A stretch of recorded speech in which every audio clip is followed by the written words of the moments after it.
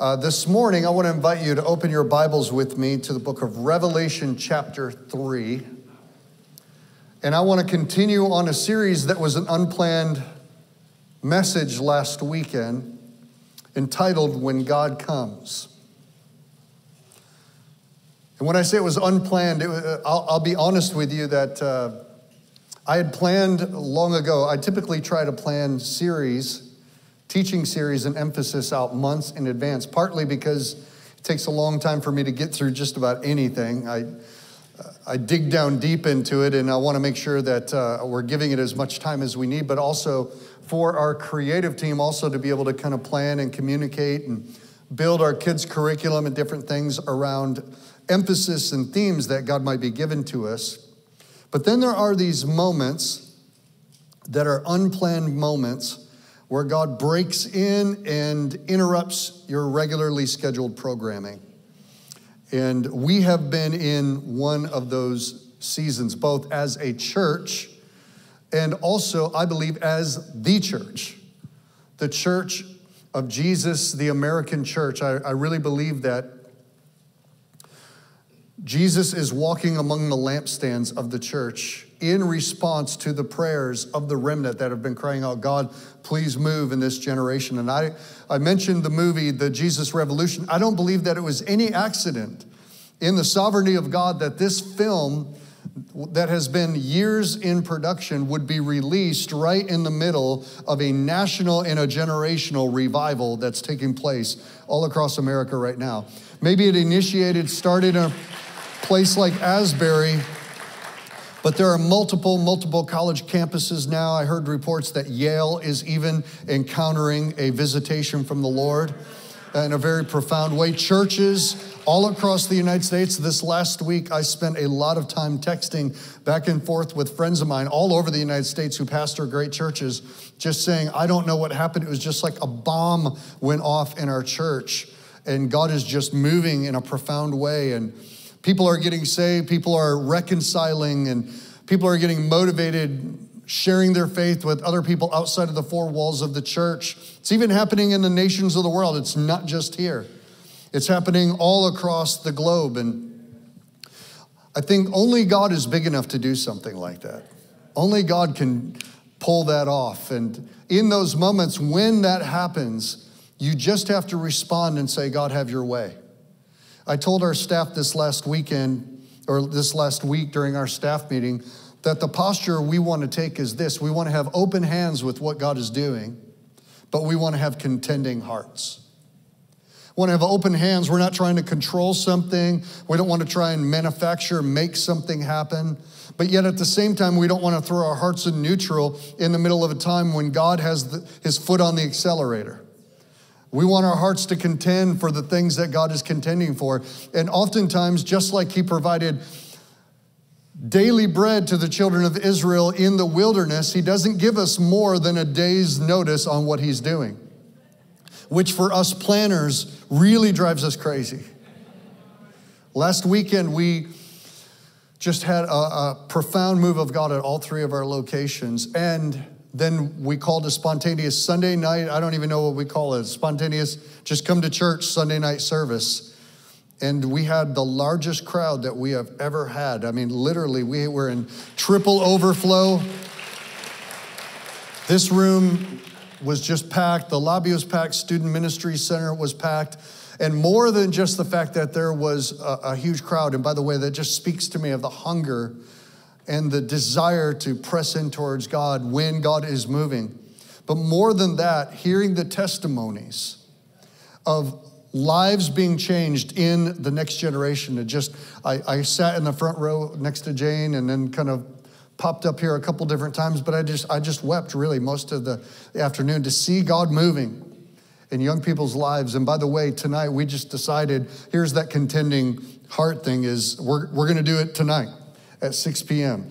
Uh, we're just going to have another service and it's going to be more worship, more prayer, and we've got more testimonies of what God, some of what He's done this last week, some of what He's been doing over the last several different weeks. And we really have a sense, as we've been leaning in, that tonight there's going to be a strong emphasis on deliverance, of people getting free from bondages, of healing, healing of the emotions, healing of bodies, God just moving and setting people free.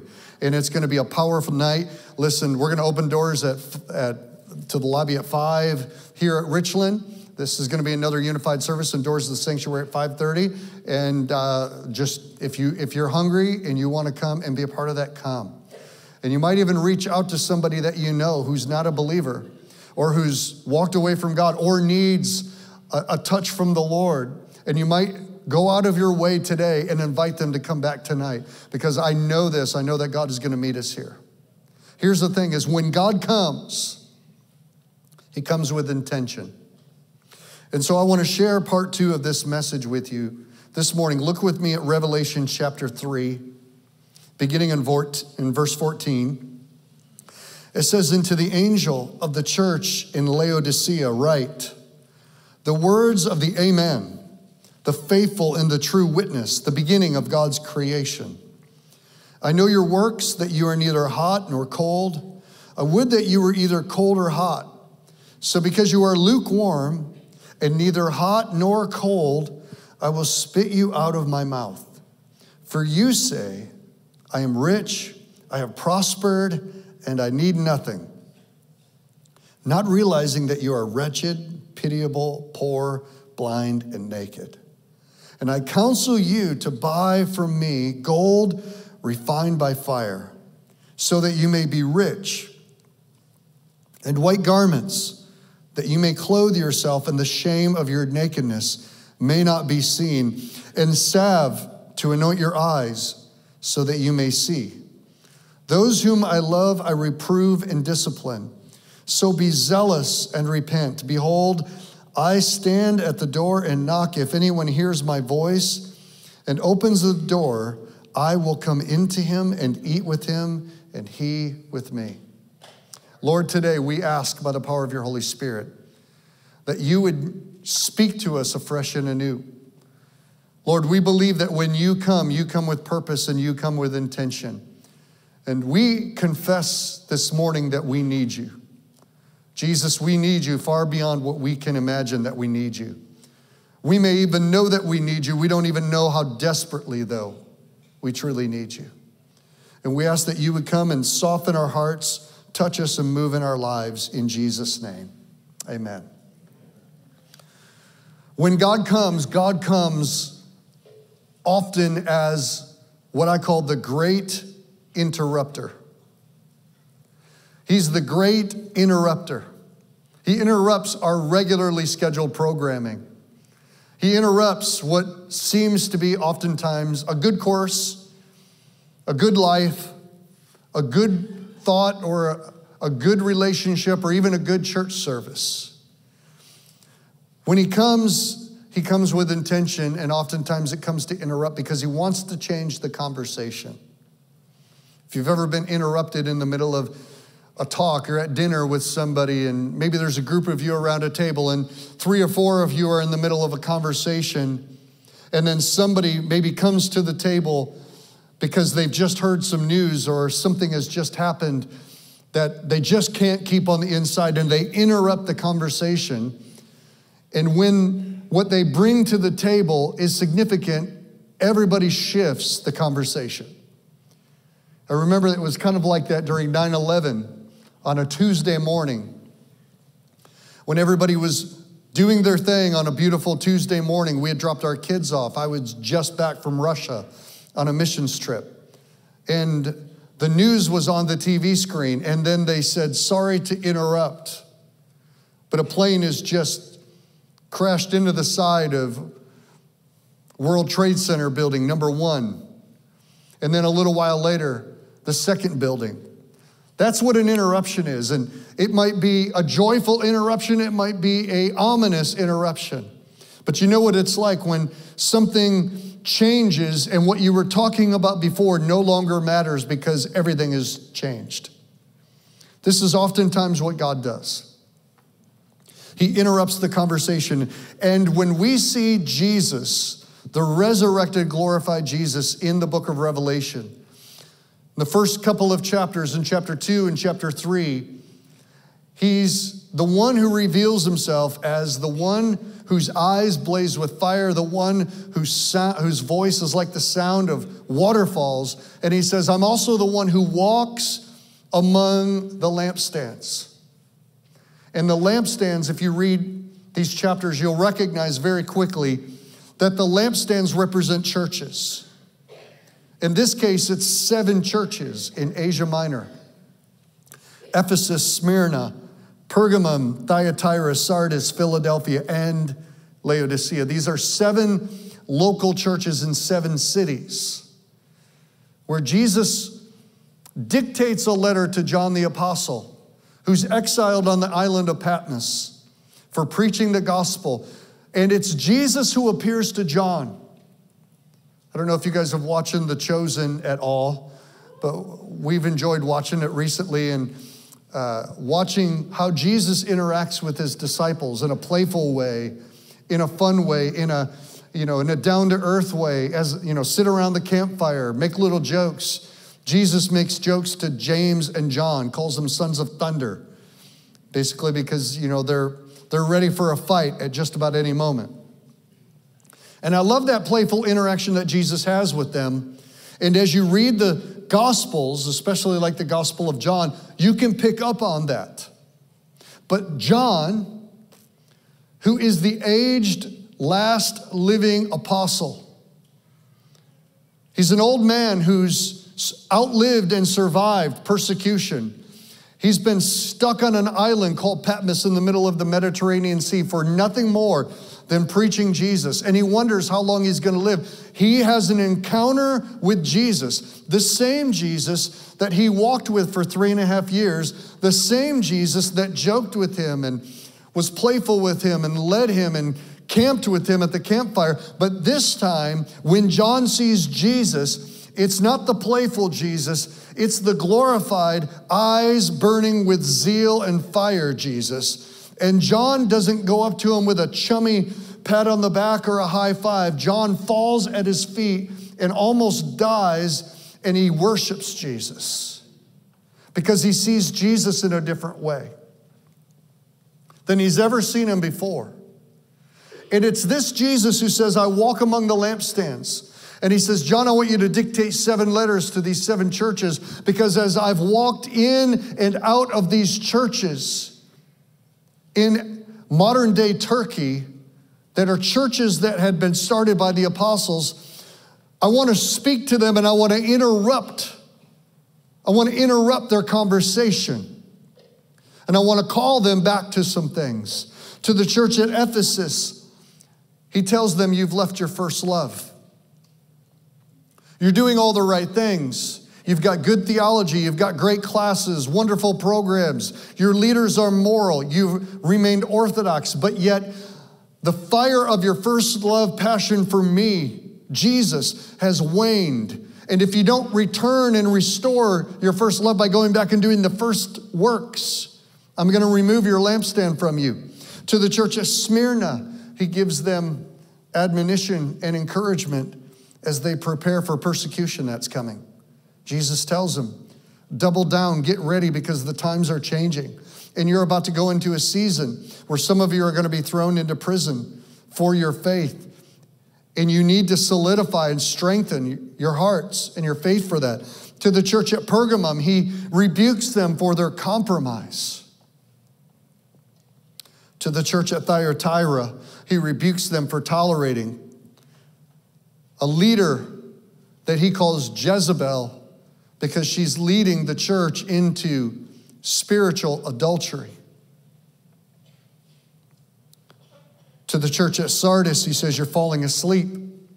Wake up. And to the church at Philadelphia, he says, You have good hearts, but little power.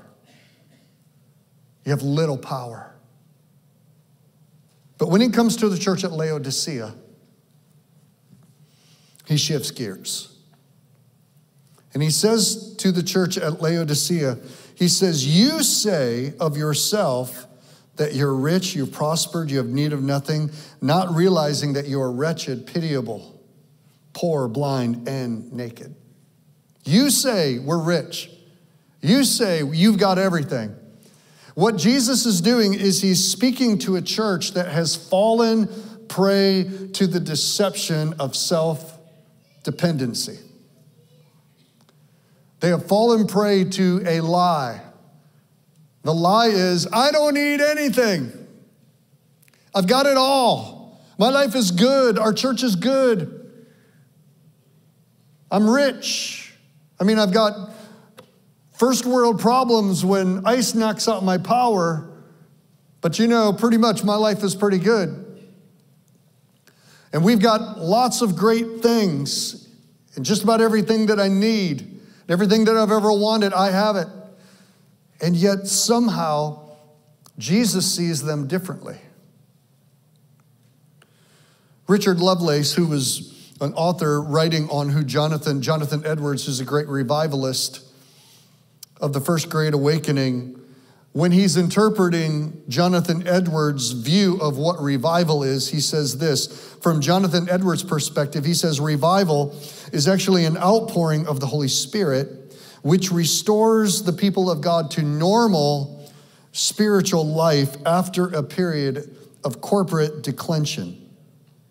Period, periods of spiritual decline occur in history because of the gravity of indwelling sin that keeps pulling believers first into formal religion and then into open apostasy.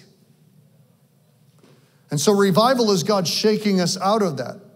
Jonathan Edwards used the illustration of this force that takes our faith and our relationship with Jesus that starts red hot and then begins to die down. He relates it to gravity. Jesus relates it to temperature. If any of you have ever, you know, gotten up in the morning and poured yourself a hot cup of coffee, I mean, there's nothing better. You pour that coffee, you set the timer, you get up in the morning, you go into your whatever kind of coffee maker you have. Hopefully, it's a good one. And you pour yourself a piping hot cup of coffee. You take it with you into the other room. You sit it down on the table and you maybe take a little sip of it, and it's super hot. And then you set it there and you get caught up in reading a book or texting or watching the news or praying and reading your Bible, whatever the case might be. But you get so caught up in it that a few minutes later, five, ten minutes has gone and you take your cup of coffee and it doesn't taste the same. You leave it there for half an hour, and now it's lukewarm. And the worst thing in the world is lukewarm coffee. We have friends that would make, you know, put a cup of coffee and pour it and then nurse it all day long. And like put it back in the microwave two or three different times. That's a sin. It's a cardinal sin. It's a sin. It's wrong. Repent.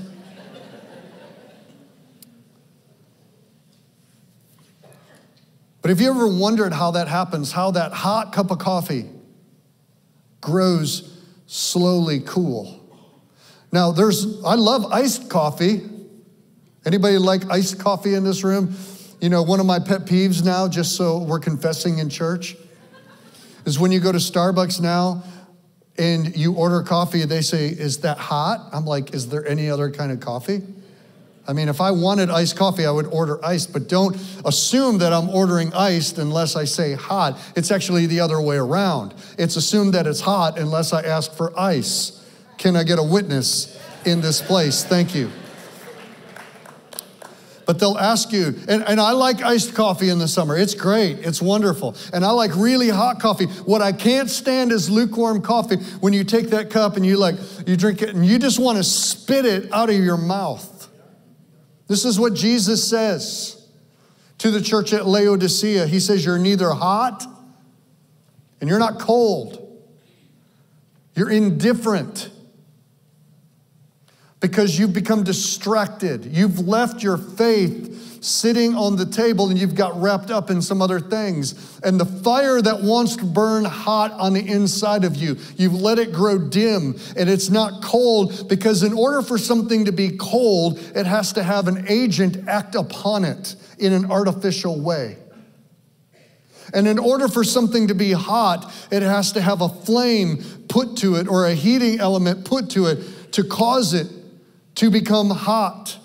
The natural progression or recession of anything is to move towards lukewarm. And in temperature, there's, when, when you talk about the rate of something cooling, it's called the Fourier's law which talks about the rate of flux from boiling to cooling. I wonder what the Fourier law is of our faith.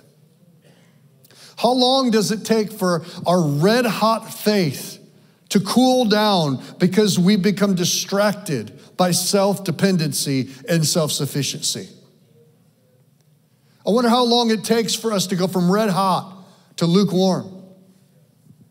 I don't know, but obviously Jesus does. And obviously, God does because there are moments where God chooses to step in and interrupt the conversation and get our attention again and say, wait a second, wait a second. You become distracted, you become deceived, you think you've got it all handled yourself. You say, and think about what he says, you say that you're rich and you've prospered and you need nothing. In other words, you say, I'm rich, which means immaterial possessions as well as satisfaction. And you say that you've prospered. That's talking about a process where your own hand has taken what God gave you in the first place and you've used it to increase yourself. And the process was a result of your work and your labor and your luck. And then ultimately, you can get to a place where you say, I have need of nothing. But Jesus says, not realizing. See, the gravity of self sufficiency pulls us like gravity pulls us to the center of the earth. The gravity of our sin and our self sufficiency pulls us away from God with centrifugal force. That the only remedy of it is for Jesus to grab a hold of our hearts. And I believe in the hour in which we're living in, it's not just happening on a personal level, He's doing it to the American church as a whole. He's saying to the American church, I want your heart back. You've been relying on yourself. You've been relying on your programs. You've been relying on your ability and your processes and your church growth principles. You've been relying on your great wealth. You've been relying on the fact that culture was pretty much Judeo Christian and, and agreed with you on most things. But what you haven't realized is that from the first and the second great awakening and the last time Jesus walked among the lampstands in a manifest, powerful way, the temperature of your faith has cooled. And God mercifully, Jesus mercifully is stepping back in among the lampstands, both of the American church in general, but to believers as well as the community around us. And Jesus is showing up because he wants to move us and pull us like a magnet away from the gravitational pull towards apostasy, which means walking away from the faith. And he wants to renew our lampstands. He wants to renew our hearts. He wants to recapture our attention. See, the reality is that Jesus sees from a eternal perspective that you and I don't. How is it that we can live our lives and say, I'm rich, I've prospered, and I don't need anything? I'll go to church, I'll love the sermon, it's wonderful, it's great. But you know what? I got my real life on Monday.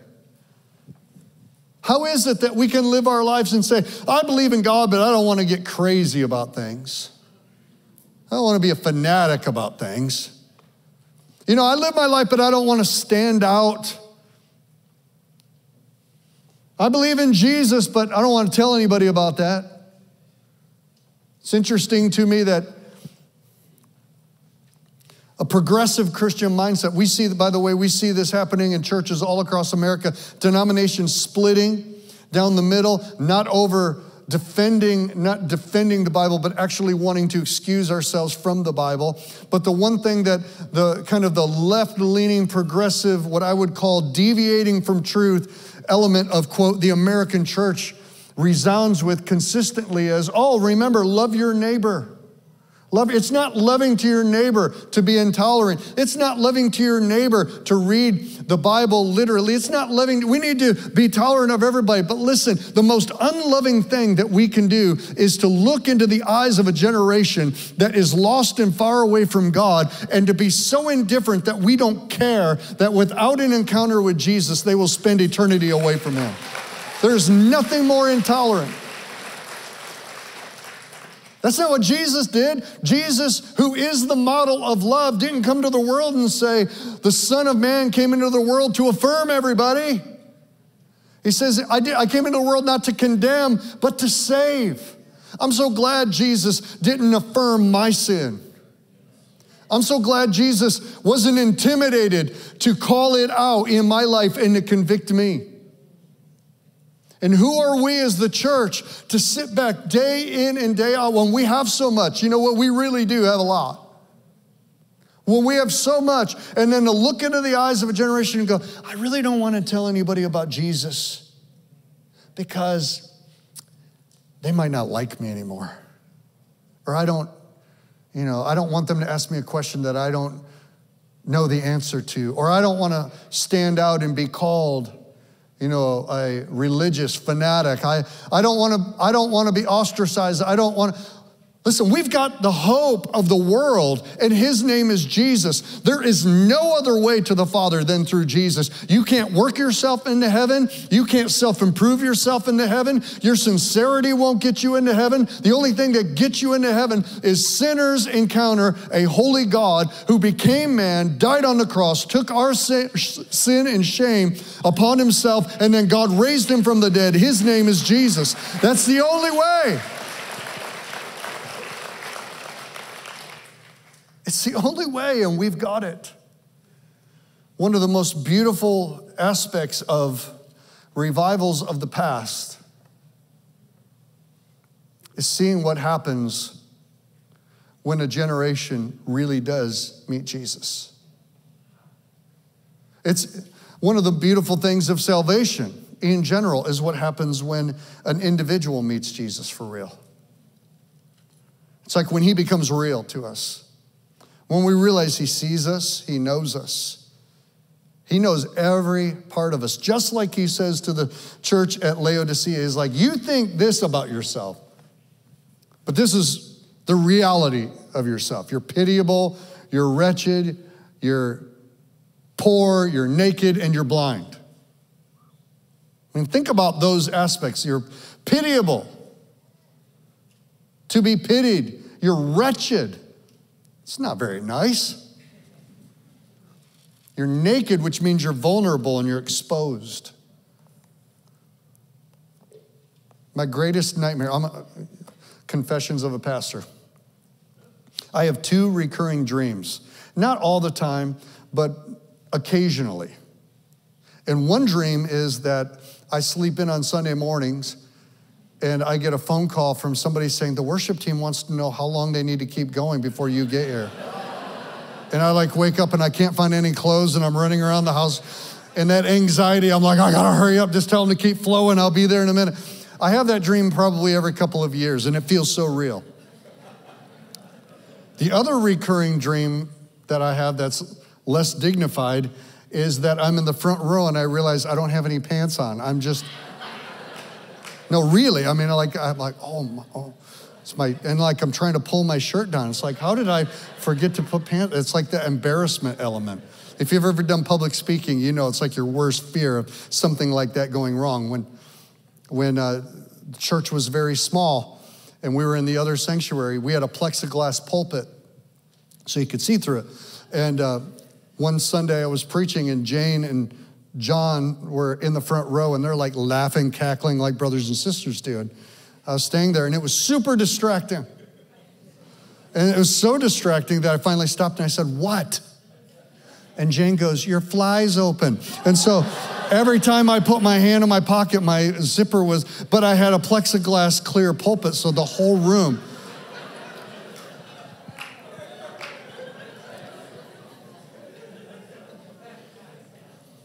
And that's when Jesus says, You're naked.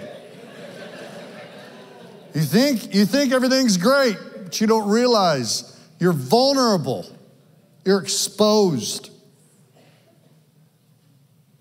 In the spirit realm, the, the, the aspect of reality that we can't see, we look vastly different than we do in the natural. In the natural, you can look all put together, you can look sharp, can be attractive, have your act together, have all the right clothes, be fit.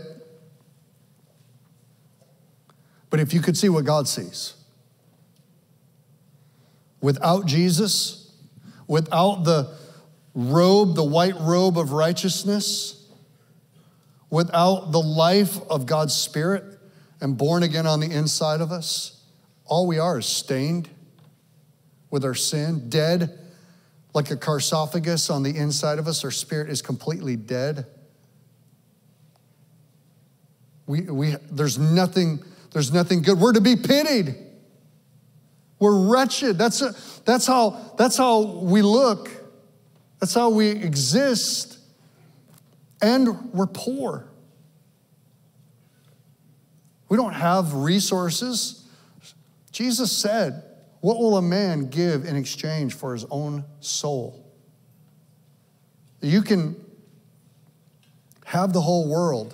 What does it gain a man if he gains the whole world and yet loses his own soul? There's nothing, there's no greater poverty than the poverty of sin. That poverty that like gravity keeps pulling us away, pulling us deeper and deeper into darkness and depravity and deception and delusion and ultimately into death. And yet, the whole time, lying to us, telling us, No, you're rich, you're happy. This is it, this is the dream. Keep going down that road. We keep going down and thinking, well, ultimately it's got to lead to happiness. This has got to lead to fulfillment. This is what life's all about. I'm climbing the corporate ladder. I'm making the money. I'm having the relationships. Pleasure's at the top of my game. I'm living for myself. Eventually, this is going to pan out as something good. And it's not until it's too late that we recognize, it's not until it's too late that our eyes are opened up on the last moment that we take a breath here, and the first moment our eyes open up and we recognize that we gained everything that the world offered, but it was a trap. He says, You're poor and you're blind. You can't see what's real. Second Corinthians says, We walk by faith and not by sight because the things of this world are temporal, but the things that are, are eternal, the things that are invisible are eternal. You know, it's the things that you can't see that are real. And when Jesus looks at us, even though he sees us through the lens of pity, even though he sees us in our spiritual poverty, he sees us groping around through life. He says, Ask me. Ask me for something. Verse 18, I counsel you, buy from me. Notice he says, Buy from me. Gold refined by fire, so that you may be rich, and white garments so that you may clothe yourself and the shame of your nakedness may not be seen, and salve to anoint your eyes so that you may ultimately see. Only Jesus has what we need. Only Jesus has what we need. Only Jesus can exchange our filthy rags stained by our sin and give us white robes, unstained, righteous in God's sight only Jesus and the fire that burns in his eyes can refine our hearts.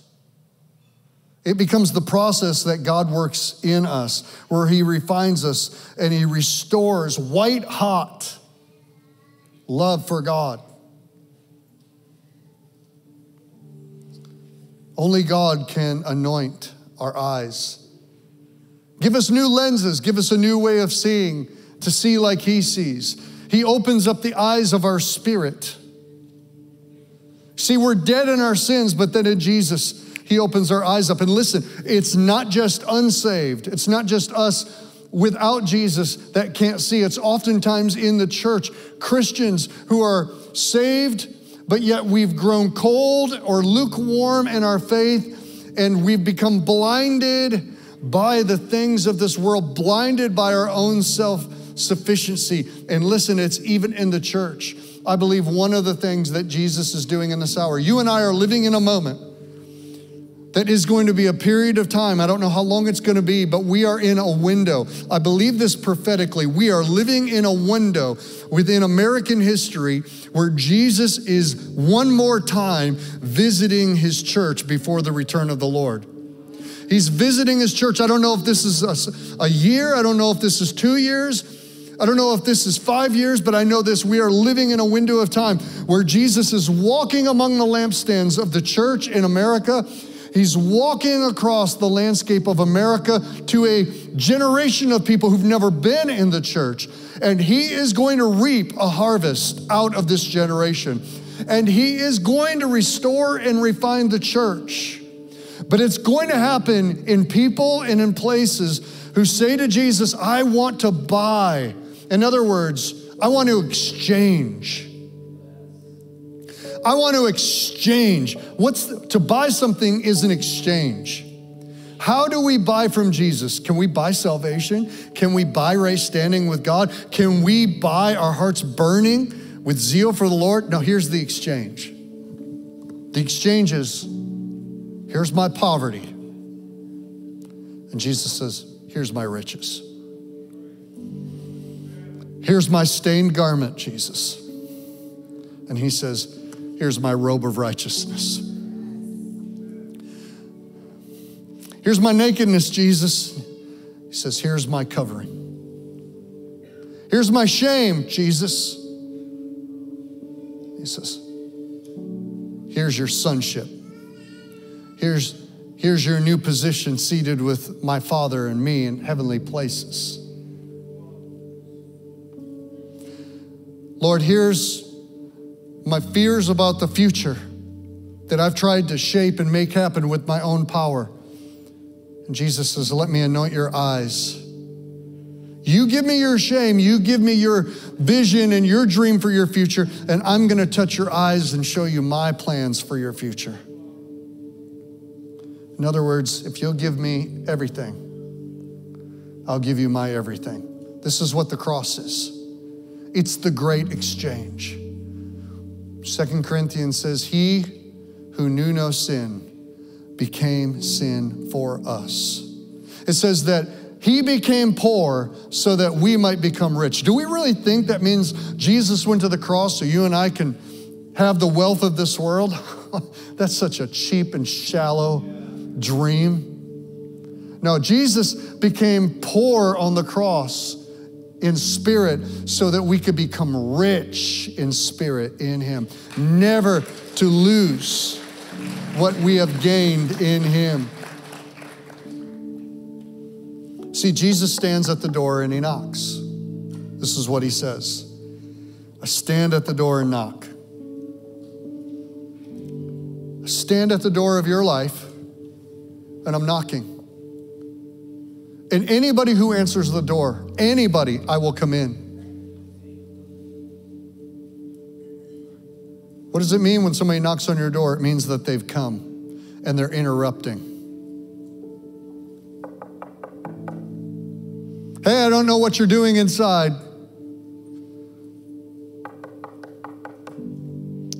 Let me in.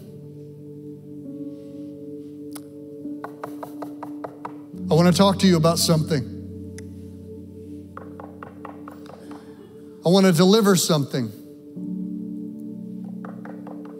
I want to tell you something. I want to come in and I want to commune with you. I want to have a conversation. I want to build a relationship. I want to change your regularly scheduled programming. And I see Jesus standing at the door of the church. Let me in. When Jesus sees the American church, I think he sees lukewarm. I think He sees us, and I'm talking collectively. He sees 340,000 churches across America. And I think Jesus is walking among the lampstands. And He's saying, I want to come in again. Will you let me in the church that I purchased with my own blood? Will you let me change the conversation away from you to the ones who are lost? Will you let me change the conversation and move you from religion that is just one step away from walking away from the faith completely? And will you allow me to breathe with the fire of my presence once again? And in the process, renew the fire in your hearts. You know, one of my favorite stories in the Gospels is when it says two of the disciples walked with Jesus on the road to Emmaus. They didn't know it was Jesus. But after he broke the bread, he sat down with them and he dined with them and he communed with them because they invited him in. And it says, after he broke the bread, he disappeared from them. And they turned to each other and said, Did not our hearts burn within us while he talked to us? You know, the answer to a lukewarm heart is responding to the knock at the door and saying, Jesus, your way, not my way. Come in, Jesus. Come and take the seat at the head of the table. That's true in the church, and that's true in our lives together. Some of us are burning with the consuming fire of God's presence in our life. Praise the Lord. Some of us, if we're honest, have said to God without saying it, I'm rich, I've prospered, I don't need anything. Can I tell you that's the most dangerous place for you to be?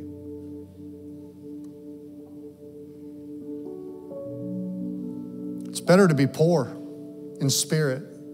Say, I know I'm a mess. God have mercy. But to say, God, I'm good. Some of us are there.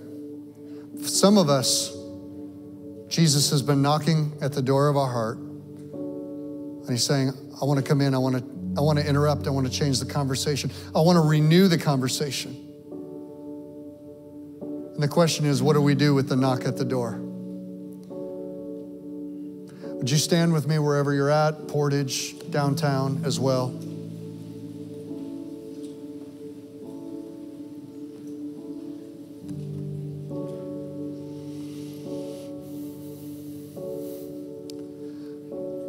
Listen to me, Jesus is knocking at the door.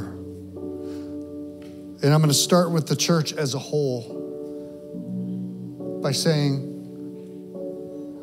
Radiant Church, we want to be one of those churches that says to Jesus, Come in. We want you. God comes where He's wanted, and we want Him. We are not going to be an indifferent, religiously observant, go through the motions, status quo, happy country club church. That is not who we're gonna be. We're gonna be burning ones. We're gonna be the burning ones. Not out of arrogance and pride, like, look at us. We're just like, God, we recognize how desperately we need you and that you have purposed us and had intentions for us in this era, in this time period, and wherever you're going, whatever you're doing, that's where we're going, that's what we're doing. But moving from that standpoint to individuals, I, I believe that in this room and in all three rooms this morning, there are some that Jesus is knocking on the door of your life. And I will say this you have never really surrendered your life to Jesus Christ and allowed Him to forgive you of your sins as only He can and to create a new living spirit on the inside of your dead heart and to give you eternal life. You've never done that. I'm not talking about religion. I'm not talking about even believing in the existence of Jesus or going to church. I'm talking about you having a personal relationship with Jesus. He wants that. He's standing at the door and he's knocking, saying, Let me come in. Let me come in. Exchange your broken down for the eternal. Some of us maybe uh, You have done that in, the, in your life at some point, but you, like the prodigal son, you have walked away from that. The coffee has gotten cold on the table because you've allowed your heart to get distracted. And now you come back and you recognize my faith is lukewarm, but I'm saying, Jesus, I want it to be hot again. And I'm returning. I'm returning. All across this room and in every room this morning, with every head up, every eye looking around, this is a moment of us responding to the knock at the door. If you're here or you're in one of these other locations and you say, I know I am not right with God, but today I'm saying, Jesus, save me. I'm saying, Jesus, I'm opening the door. Come in again. I know my faith has gotten cold or lukewarm. I know I've never made you Lord, but today I'm saying, Jesus, be Lord and Savior of my life. Save me, rescue me. I want the robe of righteousness. I want a clear conscience. I want my sin and shame removed. I want to follow Jesus. Save me. Here I am. On a count of three, when you hear me say three, if that's you and you know you need to get right with God, I want you to raise your hand and we're going to pray together. This is your moment. The door is being knocked. Will you answer? One, two, three. Raise it all over the room and hold it up. Come on, raise it. You're not alone. Come home. Prodigal, surrender. One who's far from Jesus. If you've not raised your hand, this is your moment. Will you answer the door? Whatever building you're in, raise it high right now. This is your moment to say yes to Jesus. Yes, yes, yes. Lots of hands all over the room. You're not alone. Jesus is knocking on a lot of doors today. He's knocking on a lot of doors today. Here's what I'm going to ask you to do. If you raise your hand wherever you're at, I want you to step out of your seat and I want you to come down to the front and we're going to pray together at the front. We're taking a public stand for Jesus and we're saying yes to him. If you raise your hand, step out of your seat and come right now. Come on, come from wherever you're at, the front, the back. Young man, come. Come from the front, come from the back. Come.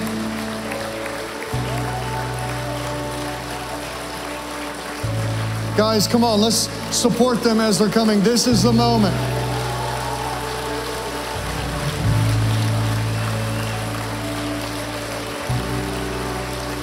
If you've not come, we'll wait just one moment. You come. Portage, you come. Downtown, come.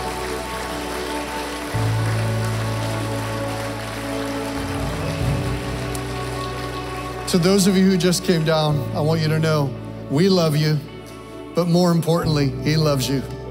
This is not a moment of shame. This is a moment of joy and life and salvation.